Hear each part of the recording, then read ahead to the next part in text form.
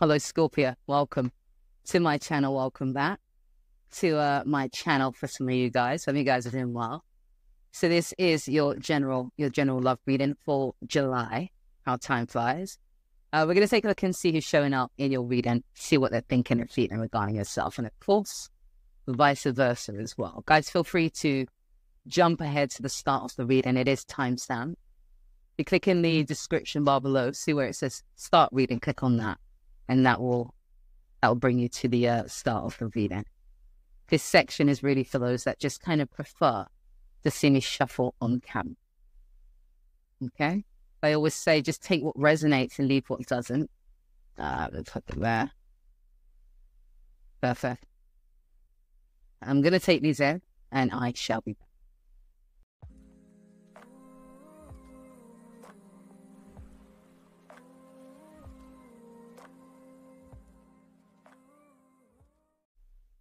So Scorpio, let's start your reading. And of course, take whatever side resonates with you guys and picking up as uh, this being your side, the person that you're dealing with over here, but you can always flip switch whatever side just kind of resonates the most. All right, so this is interesting because I don't feel like there's much communication, if any, really communication between the both of you, Scorpio. Um, because for you, it seems like there has been some form of transformation. Trying to push this down a bit. Actually, I don't really need to. Seems like there's been some form of transformation around maybe your thinking regarding this situation and this person. We've got the death card there, which represents huge transformation. When we're talking about the death card, we're talking about something ending. Um, but of course, with an ending, there's always a rebirth. So this transformation, I feel like it's something to do with your thinking around this situation, um, which is causing you to want to do something different with the page. There is this level of drive around taking action. But I feel like in the past or there's an element of fear around this for you with that three of swords there but still willing to push past it or still willing to want to take action regardless it's like this feel the fear but do it anyway type of thing but definitely a transformation in terms of your thinking you're thinking about coming together with this person to kind of create that 10 of pentacles so when we're talking about the 10 of pentacles we're talking about you know relationship exclusive relationship uh, maybe moving in together, maybe getting engaged, that type of thing. And developing, if you haven't already, this strong emotional connection um, with this person, well, with your person. And this is kind of why I feel like maybe there's been no, no communication because this person is very much drawn towards you, highly attracted, very much drawn towards you.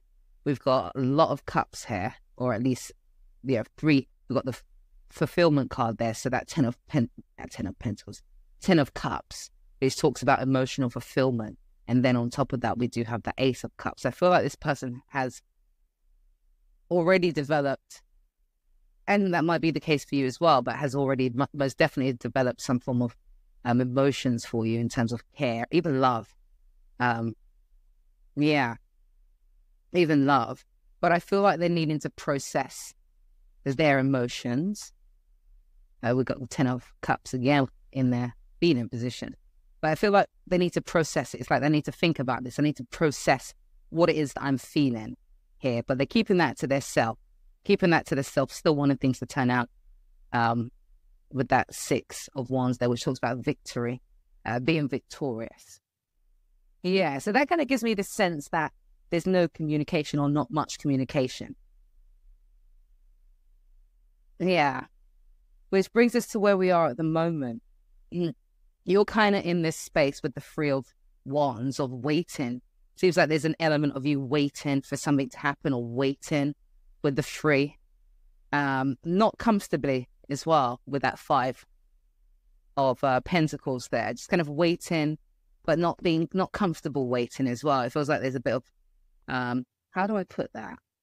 Chilly, frosty, feeling uncomfortable, feeling maybe disconnected, feeling left out in the cold. There we go that sense of maybe left out in the cold, being left out in the cold, but wanting an opportunity to build with this person, build with this person. But there is that king, which talks about, yes, of course, emotional stability and loyalty and reliability. When we're talking about the king, we're talking about, you know, this is a serious person, uh, very committed type of person. but that can also represent a level of emotional maturity in terms of how you're dealing with this as well. But I feel like that's more for a lot of you to do with you wanting an opportunity to actually establish something where you're offering that stability, you're offering that loyalty and that reliability there. But there is this choice with the two that you're needing to make.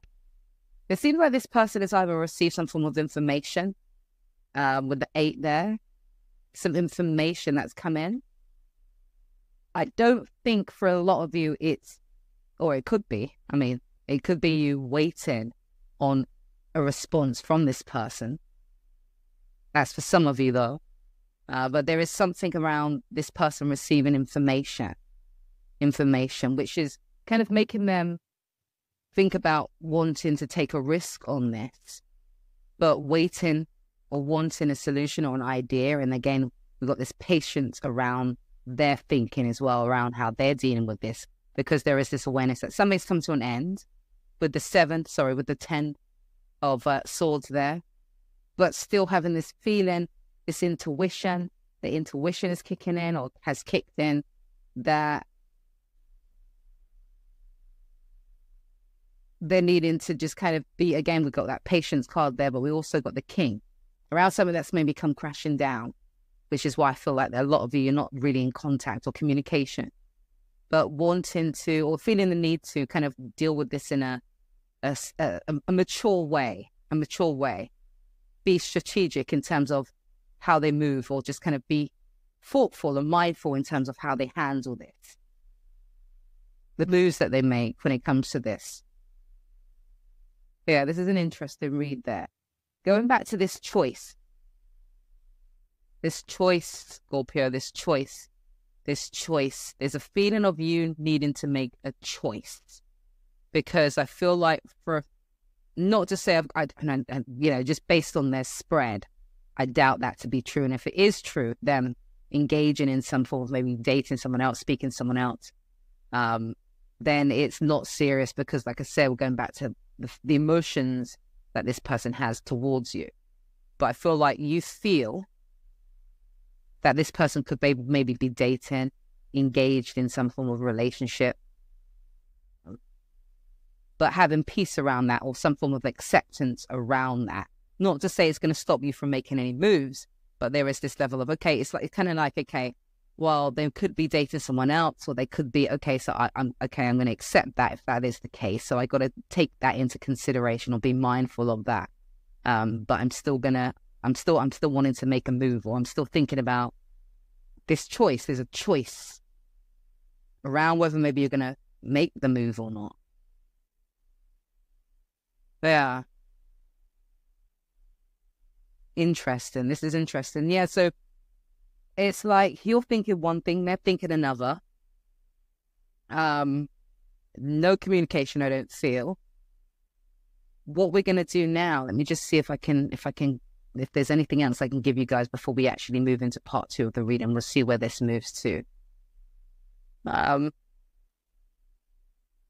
mm, the emphasis is on this waiting for you. Waiting waiting until you come to some form of decision about this choice. This choice. Yeah. So let's move into part two of the reading and we'll see where this moves to for those of you that are interested. The link is in the description bar below, so click on that. Um, other than that, guys, have a beautiful, beautiful day, and I shall see you next week.